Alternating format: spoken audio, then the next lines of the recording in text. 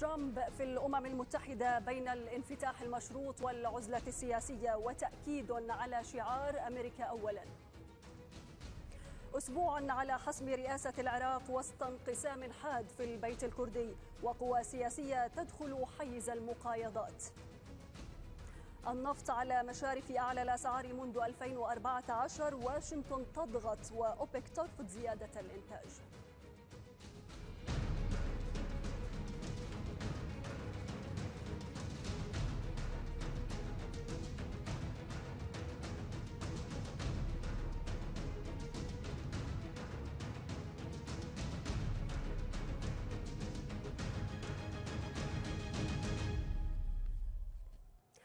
أهلا بكم في العاشرة. عاصفة من ردود الفعل أثارها خطاب الرئيس الأمريكي دونالد ترامب أمس أمام الأمم المتحدة. ثلاثون دقيقة كشف فيها ترامب عن وجهات نظره حيال العديد من القضايا العالمية وفي مقدمتها أزمات الشرق الأوسط.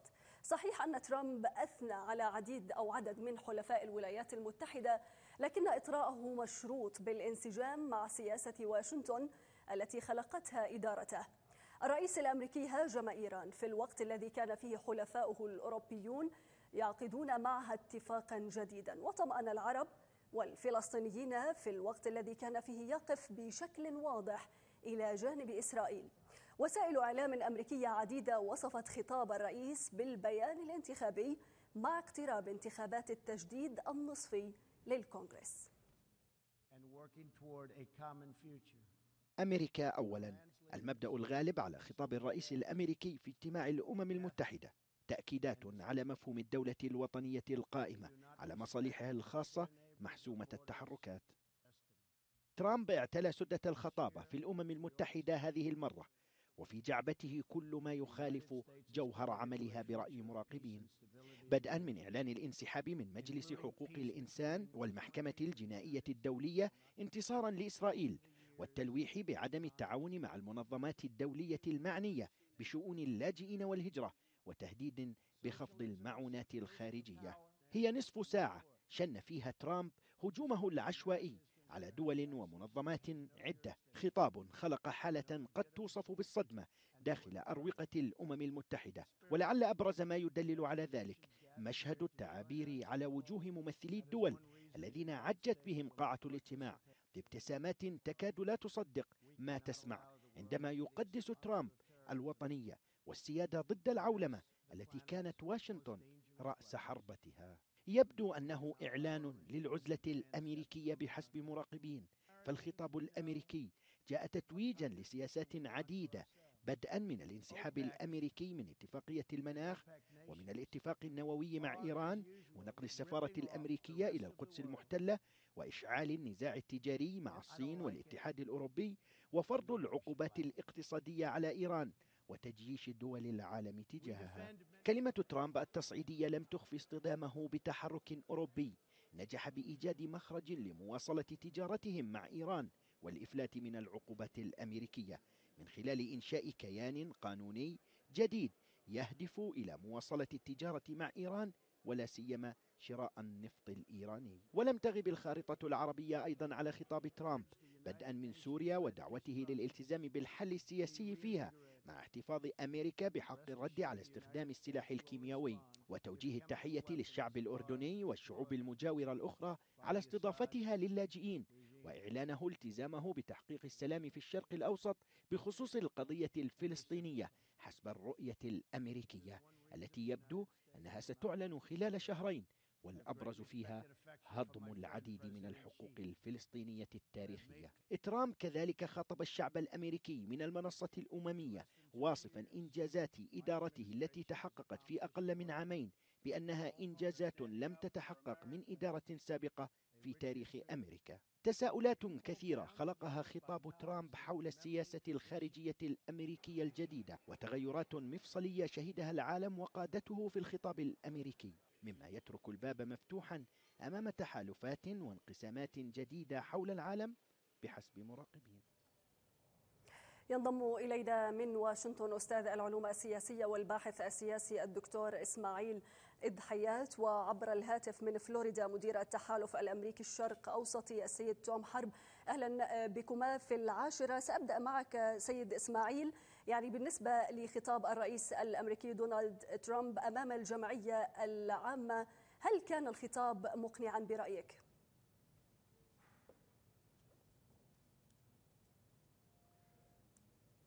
خطاب ترامب كان يعني فيه أكثر شيء لفت انتباهي هو ما يمكن تسميته بمبدأ ترامب. وهذا المبدأ يستند إلى السيادة الوطنية واحترام سيادة واستقلال الدول وعدم التدخل فيها. طبعا كان التركيز في الدرجة الأولى على الولايات المتحدة وهو بذلك كان يخاطب قاعدته الشعبية التي تطالب بمثل هذا بمثل هذه السيادة الوطنية وإبعاد المنظمات الدولية والمؤسسات الدولية عن التدخل أو تأثير على السياسة الداخلية أو الخارجية للولايات المتحدة. نعم سأنتقل إليك النقطة الثانية نعم اللي لفتت تفضل. انتباهي في خطاب ترامب تفضل تفضل سيد إسماعيل النقطة الأخرى المهمة اللي لفتت انتباهي هو هو الإشارة إلى المؤسسات الدولية وكيف أنه يريد أن تكون هذه المؤسسات الدولية أو العولمية بعيدة عن التأثير على السيادة الوطنية ليس فقط للولايات المتحدة ولكن بالنسبة للدول الأخرى. ولقد لمست في ذلك أو خطر في بالي في الدرجة الأولى ما يواجه الأردن بالنسبة لصندوق النقد الدولي وما إذا كان لهذا المبدأ الذي يؤكد سيادة الدول فوق سيادة المنظمات الدولية على أمورها وشؤونها. نعم ربما سنأتي على هذه النقطة لاحقا. سيد إسماعيل أنتقل إلى السيد توم حرب مدير التحالف الأمريكي الشرق أوسطي يعني الملاحظ من خطاب الرئيس الأمريكي بالأمس بأنه ربما يؤسس لبيان انتخابي تحدث كثيرا عن إنجازات إدارته. هو عدة نقاط. دائما الرئيس ترامب واضح بسياسته الشفافة ليس عنده أي غموض. ولأي جهة كان يتكلم؟ إذا كان يتكلم للجهة الأمريكية واضح وإذا كان يتكلم لدول الحلفاء أم الأعداء أم الغير معروفين هو واضح. أما بالنسبة للشرق الأوسط فتكلم بكل شفافية موقفه من إيران. وهذا ما يريح الشعوب العربية والإسلامية موقفه من إيران. الذي لم يعزبه الخطاب ولم يكن له أي ارتياح هم نوعين في العالم العربي والإسلامي. أما مع النظام الإيراني أما مع الإخوان المسلمين الذين يدعمون الثورات والحركات الإرهابية في العالم العربي. وإنما تكلم عن الوطنية غير العولمة ضد العولمة نحن نتذكر منذ عشرين سنة لما ابتدأت العولمة العالم العربي بأكمله كان ضد العولمة وكانوا يقولون بمنتدوات دائما بأن هذه العولمة هي الهيمنة الأمريكية على كل دول العالم. اليوم يتكلم عن نعم ولكن ومع ذلك حاولت واشنطن فرضها منذ عشرين عاما كما تتحدث سيد توم واليوم هي تنسحب منها.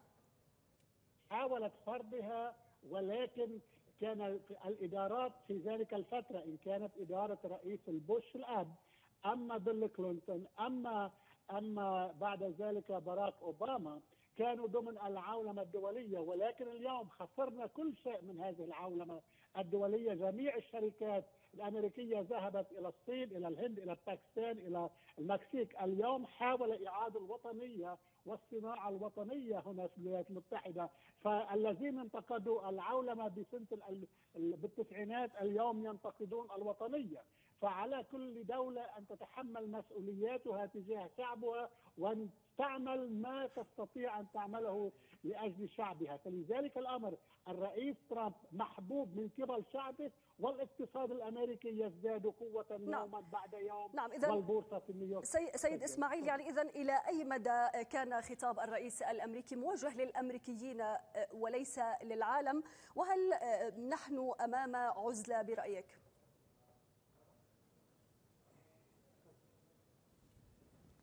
أنا أعتقد أن خطاب الرئيس كان في الدرجة الأولى موجها للشعب الأمريكي وكما نعلم البلاد مقبلة في شهر تشرين ثاني أوائل شهر تشرين ثاني على انتخابات. ولذا فإنه كان في الدرجة الأولى يتحدث لقاعدته الشعبية هنا في أمريكا وللعناصر ذات الاتجاهات اليمينية التي تطالب دائما بنوع من الانعزال بالنسبة لأمريكا.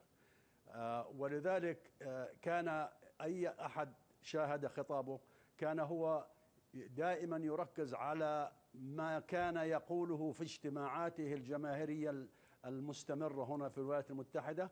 ولكنه في نفس الوقت طبعا تطرق إلى الشؤون الخارجية لبعض الدول تطرق إلى طريقة جديدة لاستخدام المساعدات الخارجية الأمريكية آه، وقالها بكل صراحة أنه أي دولة لا تحترم الولايات المتحدة. طبعا ما عرف معنى هذا الاحترام ولكن قال أنه أي دولة لا تحترم الولايات المتحدة ستقطع عنها المساعدات. الشيء الآخر اللي لفت انتباهي رغم أنه أشار إلى القدس ونقل العاصمة آه، الإسرائيلية السفارة الأمريكية إلى القدس إلا أنه لم يذكر كلمة ما انتشر في الشرق الأوسط وكثر الحديث عنه عما يسمى بصفقة القرن وحتى لم يتطرق لحلول أو أي تفصيل بالنسبة للقضية الفلسطينية ولقضية الصراع الإسرائيلي الفلسطيني آه، فخطابه كان في الدرجة الأولى موجه للشعب نعم. الأمريكي أو لقاعدته بالأحرى النقطة اللي أثارها زميلي النقطة اللي أثارها زميلي بالنسبة للعولمة آه، وبالنسبة للسيادة الوطنية. في عالم اليوم الكل يعرف أن هناك تداخل رهيب في عالم اليوم وقد يكون لها تأثير بالنسبة لعدم التدخل في شؤون الآخرين. ولكن يستحيل في عالم اليوم أن يكون هناك انعزال سواء في أمور التجارة أو في أمور الاقتصاد أو في أمور الأمن القومي. وبعدين آه، نقطة أخرى أريد أن أؤكد عليها. صحيح الرئيس الأمريكي له نفوذ, نفوذ كبير في السياسة الخارجية آه، ولكن ليس هو الوحيد الذي يقرر السياسة الخارجية. خاصة رئيس في موقف ترامب اللي هو الآن موقف غير آه، يعني متأرجح إلى حد ما بسبب الصراع الداخلي والانقسام الداخلي والتحقيق في ما يسمى بالتدخل الروسي وغير ذلك. فهو نعم هل ليس هذا في الخطاب سيد إسماعيل سيزيد ربما من مصاعب ترامب؟ هل سيزيد هذا الخطاب بالأمس من مصاعب ترامب في مرحلته آه لا أعتقد انه أعت... أنا أعتقد أنه قد يثير الكثير من آه، القلق بالنسبة للسياسة الخارجية آه، بالنسبة للمساعدات الخارجية بالنسبة لتطبيق آه، ما ذكرته أنا وأشرت له على أنه مبدأ ترامب الجديد. ممكن يثير بعض التعقيدات في السياسة الخارجية. ولكن أيضا في الداخل هناك معارضة شديدة للكثير مما جاء فيه. يعني 34 نعم. سنتور أمريكي عضو في مجلس الشيوخ وجهوا رسالة له يحتجون على قطع المساعدات عن الفلسطينيين مثلا. وهذا شيء تطور الحقيقة يعني يشير إلى أنه ستكون مقاومة شديدة من الداخل لهذه السياسات. نعم. أعود إلى السيد توم. يعني تحدث قبل قليل السيد إسماعيل بأن ترامب في خطابه لم يتطرق كثيرا إلى القضية الفلسطينية ولكن كان هناك هجوم من قبله على الفلسطينيين واليوم يؤيد حل الدولتين كيف تقرأ هذا التناقض سيد توم؟ هو دائما أول شيء سياسة الرئيس ترامب كانت واضحة إن كان وقت الحملة الانتخابية أما بالمهرجانات الانتخابية وما بعد المهرجانات الانتخابية وحتى حديثه في الأمم المتحدة نهار أمس وحديثه اللي تكلم عنه نهار أمس تقريبا يتكلم عنه اسبوعيا في المهرجانات التي يقوم بها والأحاديث التي يقوم بها للإعلام دائما. بالنسبة للأمريكاني ليس كان له من جديد على الساحة الدولية في مجلس أمن. وأما الرؤساء الذين كانوا جالسين لأن لم يسمعوه يوميا هنا في الولايات المتحدة ربما كانوا متعجبين بصراحته. أما بالنسبة للسؤال بالذات على القضية الفلسطينية هو منذ تنفيذه لقرار الكونغرس بنقل السفارة الأمريكية من تل أبيب إلى القدس. هذا كل ما قام به تنفيذ القرار الذي اتخذ بالأكثرية الساحقة في مجلس النواب ومجلس الشيوخ سنة 1994 في عهد الرئيس بيل كلينتون. نفذ هذا القرار. دائما كان يتبنى القول على الفلسطينيين والإسرائيليين أن يحلوا مشاكلهم وأي حل يأتون به ومتوافقين عليه نحن سندعمهم ولم نقف بواجب آه، آه، آه، نعم ولكن هو يحاول أن يفرض حلول وتحدث عنها ربما خلال شهرين. سيعلن عن هذه الحلول. أوكي الحلول الذي هو لأنه أتوا إليه الدول العربية وقالوا بعد منذ سبعين سنة لحتى اليوم لم نصل إلى حل في القضية الفلسطينية الإسرائيلية. ودائما كان هنالك من نوع مناطلي للقضية الفلسطينية على العالم العربي. واليوم العالم العربي يدفع مشاكل هائلة تجاه هذه المشكلة الأساسية. فما علينا إلا نجد حلا إذا وافق عليها الفلسطينيين. فقام هو بنوع المفاوضات مع الدول العربية لوجد عدة خيارات للشعب الفلسطيني. وإذا الرئيس محمود عباس حاول عزله من قبل مجلس الامن أما الجمعية العمومية ففي نهاية المطاف الجميع يتسمعون للرئيس ترامب ماذا يقوله ولا أحد اليوم يتسمع للرئيس محمود عباس لا. ماذا سيقوله في مجلس الامن اليوم آه الرئيس لا. محمود وصلت عباس وصلت الفكرة سيد توم يعني عذرا على المقاطعة أعود للسيد إسماعيل تحيات أستاذ العلوم السياسية يعني وسائل الإعلام الأمريكية انتقدت خطاب الرئيس الأمريكي دونالد ترامب كيف تفسر ذلك؟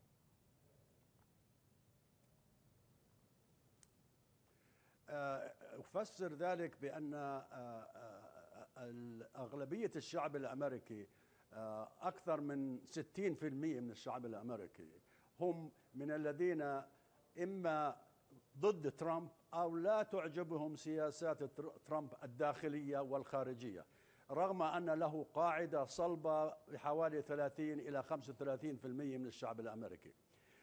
بالنسبة للصحافة التغطية طبعا هناك انقسام في الصحافة الأمريكية آه، بين مؤيد لترامب مثل شبكة فوكس ومؤيد ل أو ضد ترامب مثل شبكة سي إن إن وإم إس إن بي سي وإلى آخره. الصحافة طبعا انقسمت على أساس أيديولوجي بالنسبة لتغطية الخطاب ولكن النغمة الغالبة هي آه، الانتقاد الخطاب آه، بدرجات متفاوتة من الشدة وخاصة عندما آه، آه، ضحك عدد كبير من مندوبي الأمم المتحدة على بعض ما قاله ترامب. آه، بشكل عام كان الاستقبال له في الإعلام الأمريكي سلبيا باستثناء وسائل الإعلام الإعلام التلفزيونية والديجيتالية التي يعرف عنها تأييده له إن كان على حق أو باطل. نعم. نعم إذا أعود إليك آه، آه، سيد توم. ملاحظة على ما قاله زميلي. تفضل. تفضل. آه، لي ملاحظة على بعض ما قاله زميلي عن عن القضية الفلسطينية. خلينا نكون واضحين وصريحين. الولايات المتحدة تحت ترامب أو إدارة ترامب الأحرى بما فيها نائبه بينس وكبار المسؤولين معه آه، الواقع إنهم سلموا زمام الأمور بالنسبة للقضية الفلسطينية سلموها للإسرائيليين ولنتنياهو وللوبي الليكودي. هذا هذا شيء واضح جدا وظهر في خطابه آه، بشكل جلي لأنه ركز فيه فقط على حكاية آه، نقل لا. السفارة إلى القدس والإيفاء لا. بوعوده وصلت الفكرة سيد إسماعيل أعود إلى السيد توم حرب يعني مدير التحالف قديم. الأمريكي الشرق أوسطي يعني نيكي هيلي قالت المندوبة الأمريكية قالت بأنه أسيء فهم خطاب الرئيس الأمريكي بالأمس كيف تفسر ذلك؟ آه، أولا آه، بالنسبة لشوية تصحيحات آه، الشعب الأمريكي ليس 65 60% ضد الرئيس، إذا كان 65% ما كان وصل لسدة الرئاسي وصل لسده الرئاسي لأنه الشعب الأمريكي صوت له وإضافة إلى ذلك الكونغرس ومجلس الشيوخ الأكثرية من الحزب الجمهوري. هلأ من بعد ما 2016 قادمين على 2018 الانتخابات النصفية وساعتها لكل حادث له حديث. أما بالنسبة للإعلام الأمريكي 92% من الإعلام هو ضد سياسه الرئيس الأمريكي وهذا آه، لأنه 86% من الإعلام يتبرعون لمصلحة الديمقراطي الديمقراط الحزب الديمقراطي ولا لمصلحة الحزب الجمهوري. ورغم إساءة الإعلام للرئيس ترامب الرئيس ترامب ربح بالانتخابات بال 2016 نعم يعني سيد توم هذا موضوع آخر تتحدث عنه ولكن أرجو أن تجيب على سؤالي. نعم. أما بالنسبة للسيدة المندوبه الأمريكية قالت بأن هي كانت موجودة في الغرفة في قاعة المحاضرات بالجمعيه العمومية وكان هنالك نوع من تعجب لجميع المسؤولين والدبلوماسيين لشفافية الرئيس وإذا كان انتقاد له الذين يحبوه أم يكرهوه كلهم كانوا يحاولون أن يأخذوا صورا معه. هذا الذي قالته. ولكن تعجبوا بصراحته نعم ولكن هي قالت أسيء تفسير خطاب ترامب. لم تقل هذا. الذي عبرت عنه اليوم في على برنامج الفاكس نيوز لم آه، انه إنه إنه أسيء للخطاب قالت لا تعجبوا لصراحته. هذا كان الجو العام في القاعة. العمومية وهذا شكرا جزيلا. توم حرب من فلوريدا كنت معنا مدير التحالف الأمريكي الشرق أوسطي وأيضا الشكر موصول إلى السيد إسماعيل دحيات أستاذ العلوم السياسية. شكرا جزيلا لكما. الرئاسة العراقية والخلافات الكردية هذا الملف بعد الفاصل.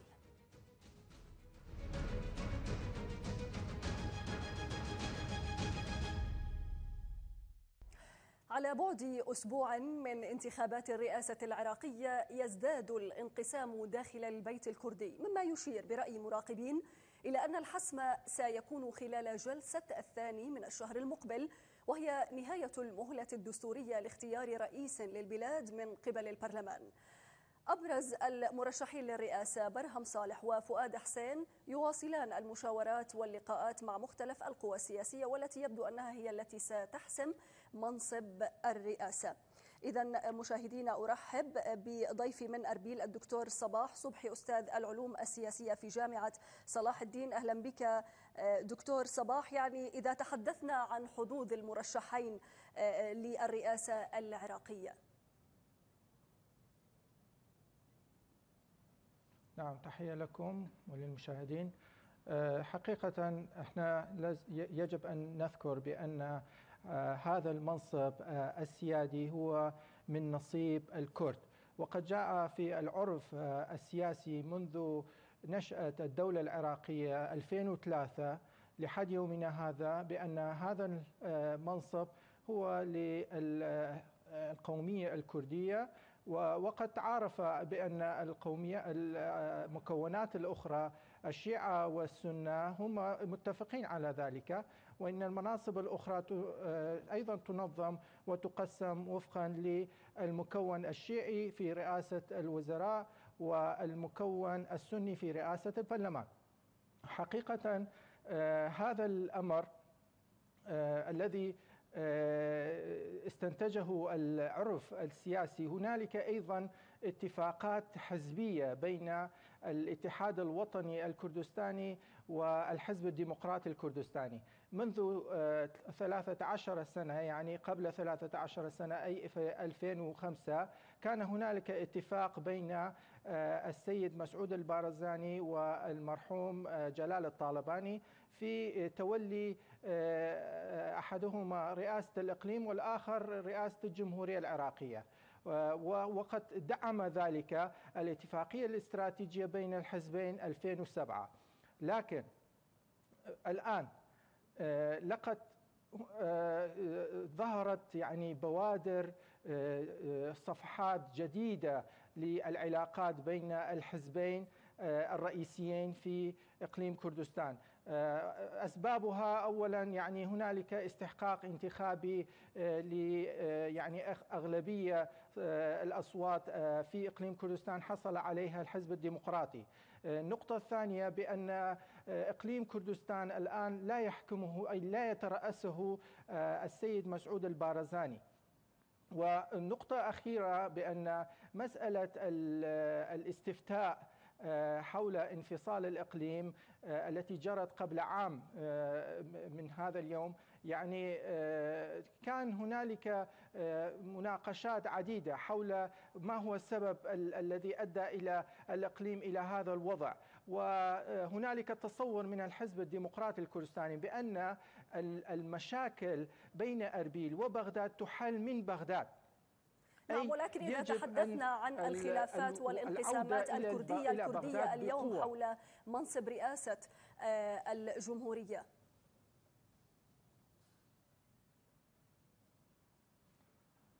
هنالك نظرتان حول هذا المسألة. أولا هو أساسا هو تنافس حزبي مشروع.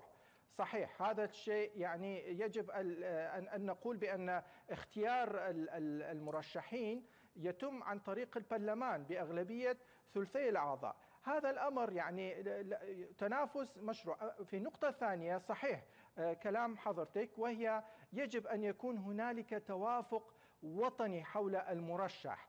لكن الم... نحن يعني هنا في أربيل نتلمس وجود هذا الخلاف بسبب حزب الاتحاد الوطني الكردستاني الذي رشح السيد دكتور برهم دون الرجوع إلى هذا التوافق المتعارف عليه مع الحزب الديمقراطي. أي أنه تصرف لوحده وأصبح دكتور برهم مرشحا وحيدا خارج إطار التوافق. من جهة أخرى يعني حزب الديمقراطي يرى بأن هذا المنصب السيادي هو صمام الأمان واستقرار العراق يتوقف على المناصب السيادية. يعني هو صرح السيد مسعود البارزاني في عدة مرات بأنه أساس التوافق وأساس حل المشاكل هو الظهور بقوة. و نعم. ويجب أن يكون هنالك رئيس للجمهورية يستطيع أن يتولى هذا المهام بفعالية ويستطيع حل المشاكل خلافا لما سبق من مرحلة دكتور فؤاد نعم. معصوم دكتور صباح سنتحدث عن حدود مرشح الاتحاد الوطني الكردستاني برهم صالح ولكن دعنا نتابع هذا التقرير الثلاثاء المقبل الثاني من شهر تشرين أول ليس يوما عاديا في الحياة السياسية العراقية. هذا اليوم هو الموعد الدستوري النهائي غير القابل للتأجيل الذي حدده البرلمان العراقي لانتخاب رئيس جديد للبلاد ينتمي للأكراد حسب ما جرى عليه العرف العراقي في تقسيم الرئاسات الثلاث منذ سقوط نظام صدام حسين عام 2003 رئاسة الوزراء للشيعة ورئاسة البرلمان للسنة ورئاسة الجمهورية للأكراد. تأجيل تلو آخر شهدته الساحة السياسية العراقية في انتخاب رئيس للبلاد والسبب اتساع رقعة الخلافات داخل البيت الكردي وأحزابه. والفشل في التوصل إلى اتفاق حول مرشح توافقي لا سيما وأن إقليم كردستان يستعد لانتخاب برلمان جديد. حتى الآن بلغ عدد المتقدمين بأوراق الترشح لهذا المنصب ثلاثين شخصية سياسية أبرزها مرشح الاتحاد الوطني الكردستاني برهم صالح ومرشح الحزب الديمقراطي الكردستاني فؤاد حسين. فيما تطرح أسماء أخرى توصف بأنها توافقية مثل عديل جلال الطلباني القيادي في الاتحاد الكردستاني. سيناريوهات ثلاثة تنتظر حسم ملف رئاسة الجمهورية العراقية. الأول أن تدخل القوى الكردية البرلمان باسم واحد ينتخبه النواب رئيسا أو تدخل هذه القوى بعدة مرشحين. يتم اختيار أحدهم ضمن جولة أولى وثانية داخل البرلمان. تماما كما حدث مع انتخاب رئيس المجلس. أما الخيار الثالث الأكثر تعقيدا فهو رفع جلسة الثلاثاء المقبل وجعلها مفتوحة ضمن مسعى لعدم إحداث خرق دستوري وذلك يضيف أزمة سياسية على أزمة أخرى عنوانها عدم انتخاب رئيس للحكومة حتى الآن. منصب رئيس الجمهورية العراقية لا تترتب عليه أي صلاحيات تنفيذية حسب الدستور العراقي. الذي ينص على أنه منصب شرفي إذ إن جميع الصلاحيات التنفيذية في مجال الأمن والدفاع والاقتصاد والسياستين الداخلية والخارجية بيد رئيس الوزراء أعود إليك سيد صباح صبحي أستاذ علوم سياسية في جامعة صلاح الدين من أربيل يعني هل حالة الانقسام الكردي اليوم زادت ربما من حظوظ فؤاد حسين؟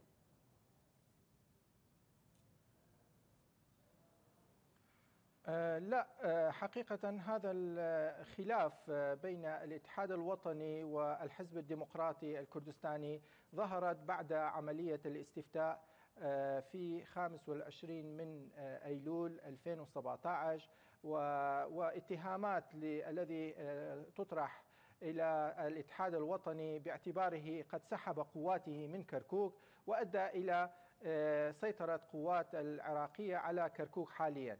يعني بدأت بوادر هذا الخلافات منذ تلك الفترة واستمرت إلى يومنا هذا واشتدت في الفترة الانتخابية الإعلامية التي تشهده الإقليم نتيجة ل من المزمع يعني انتخابات أن تتم عملية الانتخابات في 30 من أيلول الجاري. يعني هذه الخلافات يعني قديمة ولكنها ظهرت للبادئ في العلن خصوصا بعد هذا الخلاف. طبعا هذا الخلاف ستؤثر بدون شك على قوة الكرد في بغداد لأن الكرد يحتاجون إلى وحدة الصف. صحيح أن هذا المنصب الرئاسي لديه العديد من الضوابط القانونية التي تم الإشارة إليها في الدستور. لكن كما قلت هنالك توافق وطني ويجب أن يكون هذا الشخصية التي يتم اختياره شخصية مقبولة لدى الجميع نعم. وثالثا اذا السؤال سيد صباح إلى أي مدى يمكن أن تؤثر الانتخابات المحلية في إقليم سعودية. كردستان على منصب رئيس الجمهورية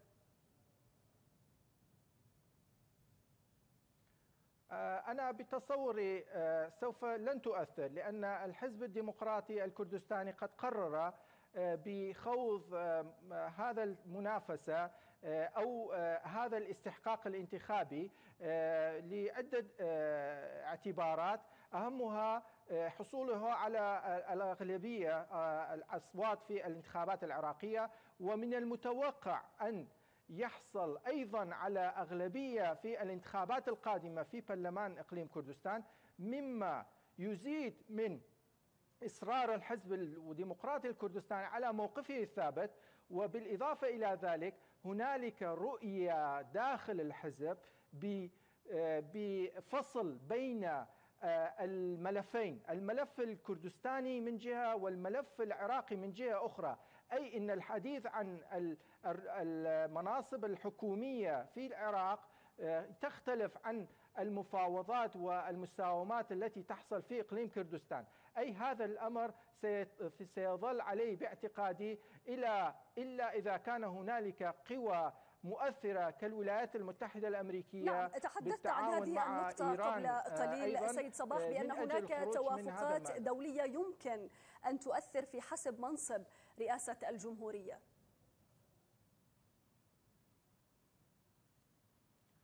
نعم دون شك. يعني إحنا نؤكد بأن السياسة الداخلية رغم الإعلان مرارا وتكرارا بأن هذه السياسة هي سياسة وطنية خالصة ولكن هنالك تدخلات واضحة من إيران عبر قاسم سليماني وكذلك من أمريكا عبر بريت ماغورك.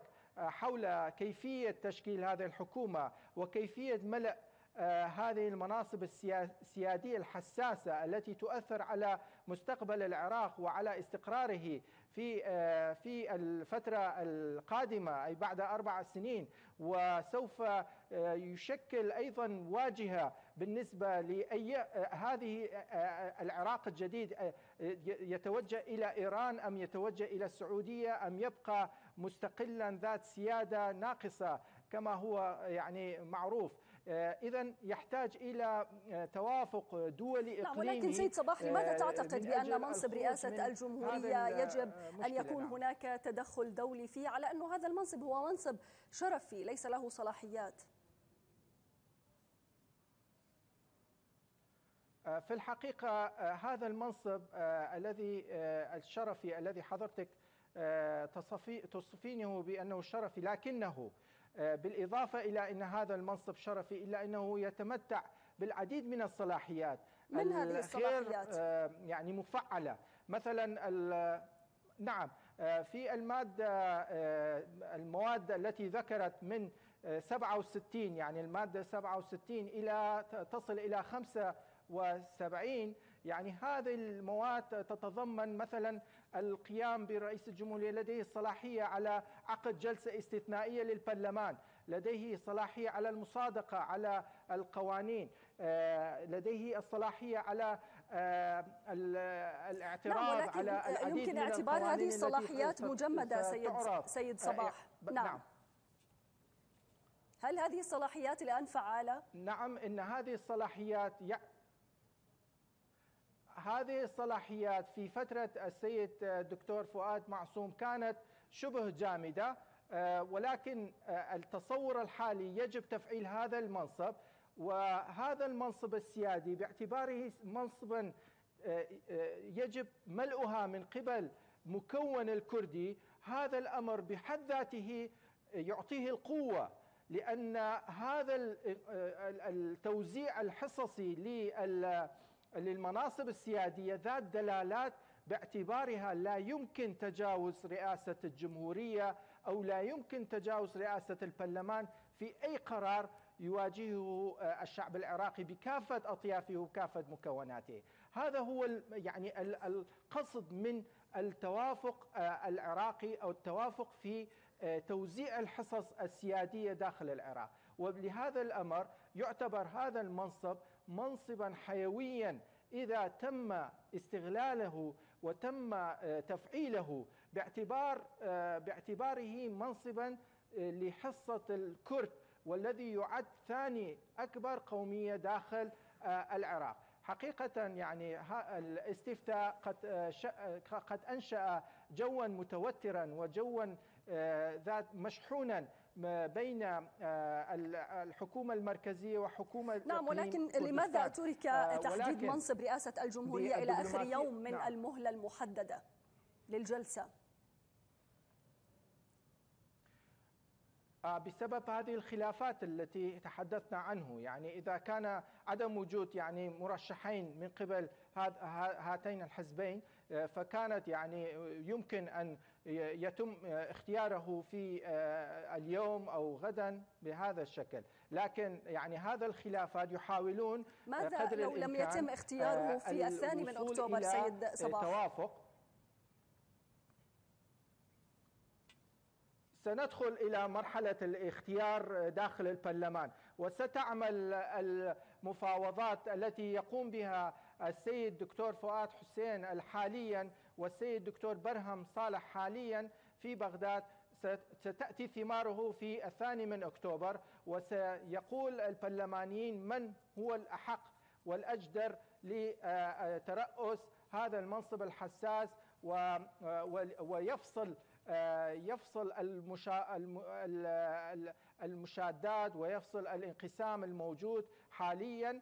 وعلى الرغم من إن آه، الحزب الديمقراطي الكردستاني قد قام بجولات مكوكية ومفاوضات مستمرة ماراثونية مع القوى والأحزاب واستطاع أن يحسم أمر العديد من التحالفات الموجودة سواء كان تحالف نعم. آه، الكتلة الإصلاح أو آه، أو كتلة البناء لكنه آه، لا زال يتأمل يعني أن يحصل على توافق وطني لأن كما قلت بأن الانقسام بين هذين الحزبين في المرحلة الحالية سيؤثر بشكل سلبي على تشكيل الحكومة في المستقبل لأن المناقشات سوف تكون نعم أصعب وصلت الفكرة. السيد صباح صبحي أستاذ علوم سياسية في جامعة صلاح نعم. الدين من أربيل. شكرا جزيلا لك.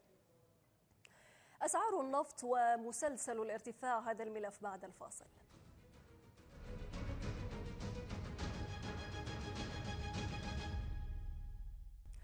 إذا من جديد يبدو أن أسعار النفط أمام سلسلة من الارتفاعات المتتالية خاصة أنها وصلت هذا الأسبوع إلى مستوى لم تصله منذ عام 2014 مدفوعة بالمخاوف من نقص المعروض في السوق على وقع قرب بدء العقوبات الأمريكية على إيران في حزمتها الثانية والتي ستستهدف صادرات النفط بشكل أساسي.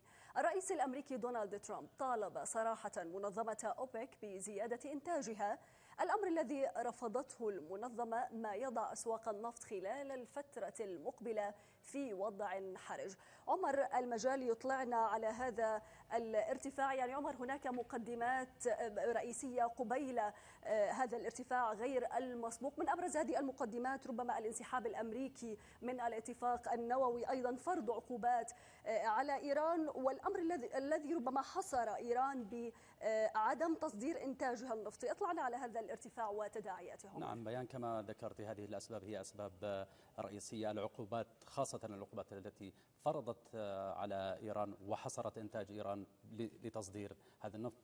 نستعرض هذه الأسباب سويا هل يخترق الذهب الأسود سعر المئة دولار بعد انخفاض دام لثلاث سنوات وتسبب بأزمة مالية خانقة للكثير من الدول؟ بدأت أسعار النفط العالمية تنتعش لتقفز فوق 70 دولار.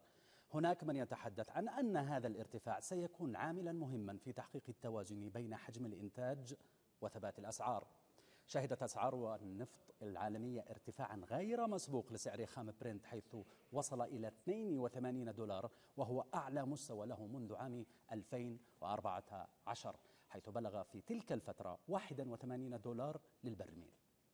أسباب هذا الارتفاع القياسي تعود إلى نسبة الامتثال في منظمة أوبك لحصص الإنتاج والتي بلغت 100% بالإضافة إلى العقوبات الأمريكية المفروضة على إيران والتي أثرت على صادرات إيران البترولية علما بأن إنتاج إيران يقدر بأربعة ملايين برميل. أيضا ارتفاع الطلب العالمي بسبب زيادة نمو الاقتصاد العالمي بالإضافة إلى تراجع إنتاج ليبيا وفنزويلا لأسباب سياسية وأمنية كان لها أسباب مباشرة في ارتفاع هذه الأسعار. قبيل هذا الارتفاع وأثناءه كانت الاتهامات حاضرة. الرئيس دونالد ترامب كان قد صرح أمام الأمم المتحدة بأن أوبك تنهب العالم من خلال أسعار النفط المرتفعة. أيضا جدد ترامب هجومه ضد إيران مشيرا إلى أن الولايات المتحدة تسعى لدفع دول العالم لخفض مشترياتها من النفط الإيراني. في المقابل الرد من طهران كان حاضرا. وزير النفط الإيراني اعتبر أن الرئيس الأمريكي دونالد ترامب هو المسؤول الرئيسي عن ارتفاع أسعار النفط في العالم.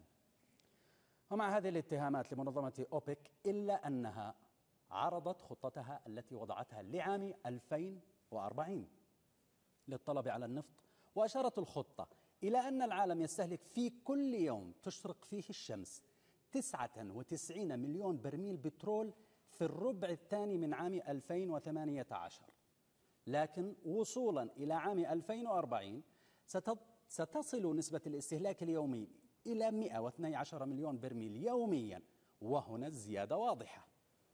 أظهرت خطة أوبك أن عام 2040 سيتضاعف عدد السيارات ليصل إلى نحو مليارين ونصف المليار سيارة و320 مليون سيارة كهربائية. وحجم الاستثمارات المطلوبة في قطاع الطاقة خلال عشرين عاما سيصل إلى أحد عشر تريليون دولار. هذه هي الأسباب بيان. وأيضا وكالة رويترز كشفت خلال الأسبوع الماضي بأن خلال عام 2018 سيبقى سعر برميل النفط فوق 70 دولار.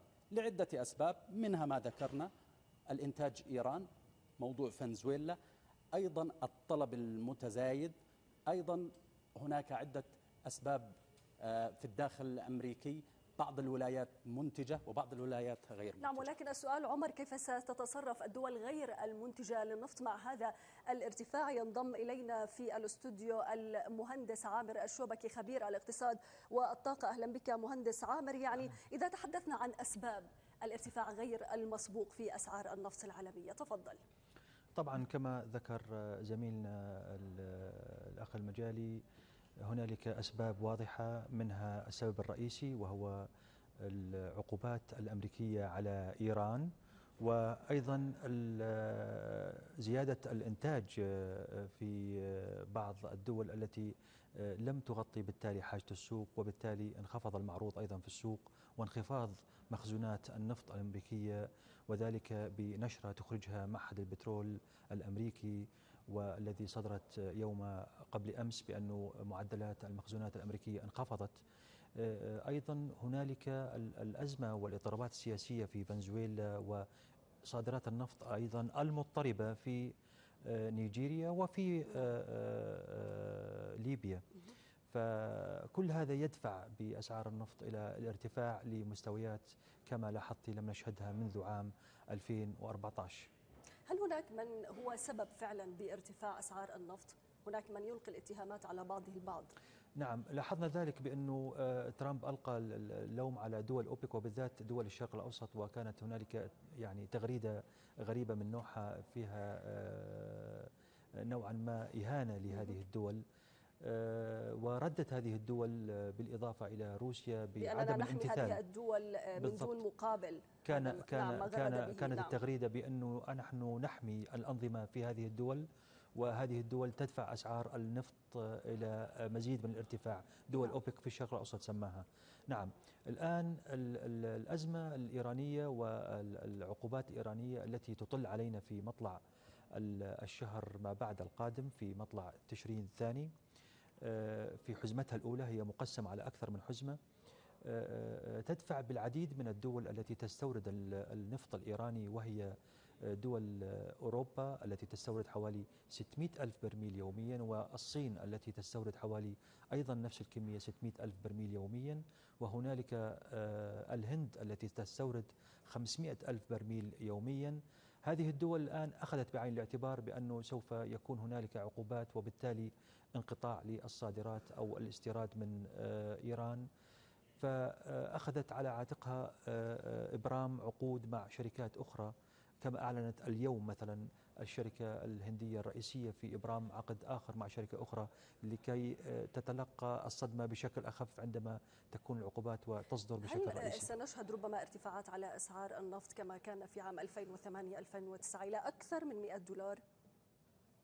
إيران تشارك في حوالي 4 أو 5% من الصادرات النفطية العالمية. فبالتالي انقطاع الصادرات الإيرانية بالتأكيد سيدفع أسعار النفط إلى الارتفاع.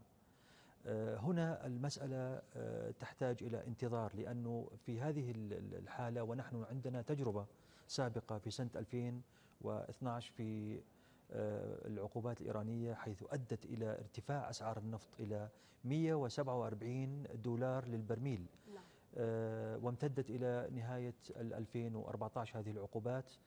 الآن نحن عندنا تجربة بالإضافة أنه ارتفاع النفط أسبابه موجودة لأنه انخفض الإنتاج وانخفض المعروض في السوق. السؤال هل تستطيع السعودية تغطية الإنتاج الأوروبي السعودية بالذات؟ لأنه السعودية لديها قدرة على رفع إنتاجها اليومي من 10 مليون برميل وهو الإنتاج الحالي. هل تريد رفع إنتاجها برأيك تستطيع رفع إنتاجها وهو, وهو أمر مطروح الآن والإجتماع الذي سيحصل هي تستطيع؟ نعم تستطيع ومطروح. وهو سيبحث في اجتماع أوبك القادم بأنه لماذا السعودية لوحدها تأخذ هذا النصيب الإنتاج في في تعويض الحصة الإيرانية من السوق العالمية؟ لماذا لا تأخذه عدة دول؟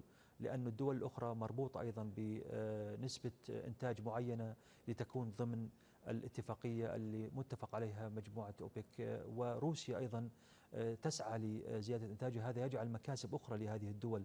ولا نستطيع أن أن نغفل أن هذه الدول جميعها مستفيدة من رفع أسعار النفط لأنه بالتالي سيرتفع العائد. الآن تصريح ماكرون الرئيس الفرنسي أمس بأن العقوبات سوف ترفع أسعار النفط وعلينا بالتفكير مجددا في هذه العقوبات. أيضا دفع إلى أمر آخر. برأيك؟ دفع إلى تباين في الموقف ما بين الاتحاد الأوروبي والولايات المتحدة وهو أمر مختلف عما جرى في 2012 نعم. نعم. إذا تحدثنا عن تأثير كل ذلك على الأردن. بالتأكيد ارتفاع أسعار النفط عالميا أول ما يشعر به الأردن. وبالتالي سوف ينعكس على سعر فاتورة النفط التي يتم تسعيرها نهاية كل شهر وتعتمد معدل الأسعار النفط في أو مشتقات النفطية في الشهر كامل على مدى أربع أسابيع أو ثلاث أسابيع. نعم إذا تحدثنا عن إلى أين تتجه أسعار النفط خلال عام 2018 2018 في نهايتها متوقع أن تقفز عن حاجز التسعين دولار للبرميل وخصوصا عند بدء تطبيق العقوبات في بداية تشرين الثاني أي بعد حوالي 35 يوم. ومتوقع أن تقفز حاجز المئة دولار للبرميل. وكل ذلك 100 دولار للبرميل بعد سنة 2019 وكل ذلك يعتمد على مدى تقيد الدول العالمية وبالذات الدول أوروبا والصين بالعقوبات الأمريكية. وبالتالي تقليص حصة إيران من السوق العالمية وانخفاض العار المعروض في السوق. نعم المهندس عامر الشوبكي خبير الاقتصاد والطاقة شكرا جزيلا لك. العفو شكرا لكم مشاهدينا على حسن المتابعة إلى اللقاء.